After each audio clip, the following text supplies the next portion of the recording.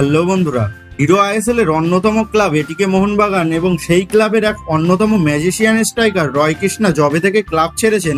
সেই দিন থেকে ও জবে থেকে খবর বেরিয়েছে রয় কৃষ্ণা এটিকে মোহনবাগান ছেড়েছে। সেই দিন থেকেই বিভিন্ন বড় বড় মাপের স্ট্রাইকারের রিউমার ছড়িয়ে বেড়াচ্ছে। আর সেই মতোই বিভিন্ন সূত্র থেকে আজকের এই ভিডিওর এই স্ট্রাইকারের রিউমারটাও ছড়াচ্ছে। তো এই নিউজটা কতটা সত্য সেটা এখনও জানা যায়নি, কিন্তু এই ভিডিওটা দেখে তোমরা বুঝতে পারবে যে এই নিউজটা কতটা সত্যি বা কতটা মিথ্যে। তো বন্ধুরা, এই ব্রেকিং নিউজটা সর্বপ্রথম ব্রেক করেন ময়দানের গপ্প নামক ফুটবল পেজ থেকে। তো জানা যাচ্ছে, এটিকে মোহনবাগান কথাবার্তা চালাচ্ছে মলডোভার প্লেয়ার হেনরিক লুভানোরের সাথে।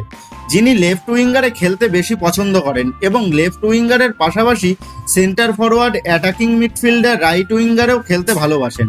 তো এই প্লেয়ারটার সাথে জুয়ান ফেরান্ডোর কানেকশনটা অনেকটাই আগে থেকে রয়েছে। তো সেই সূত্রেই আগমন ঘটতে পারে এই প্লেয়ারের তো এই প্লেয়ারটার সাথে তার বর্তমান ক্লাব পুজিরিও স্পোর্টের সাথে একত্রিশে ডিসেম্বর দু হাজার বাইশ পর্যন্ত চুক্তি আছে। তো তাকে আনতে গেলে এটিকে মোহনবাগানকে অবশ্যই ট্রান্সফার ফি দিয়ে নিতে হবে। এবং যতদূর জানা যাচ্ছে, এই প্লেয়ারটা ততটা ইন্টারেস্ট নয় এই মুহূর্তে ইন্ডিয়াতে এসে খেলার জন্য।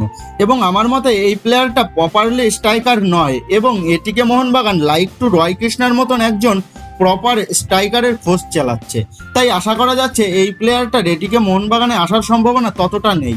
তো বন্ধুরা, আশা করছি এই প্লেয়ারটার সম্পর্কে সবকিছু তোমাদের ডিটেলসে বোঝাতে পারলাম।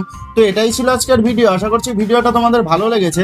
তো যদি ভিডিওটা ভালো লেগে থাকে, তাহলে ভিডিওতে লাইক দিয়ে চ্যানেল সাবস্ক্রাইব করে পাশে থাকা বেল আইকনটি অবশ্যই প্রেস করে দিও, যাতে তোমার প্রিয় দলের সমস্ত রকম খেলার খবর সবার আগে তোমার কাছে পৌঁছে যায়। তো আসি বন্ধুরা, দেখা হচ্ছে পরের ভিডিওতে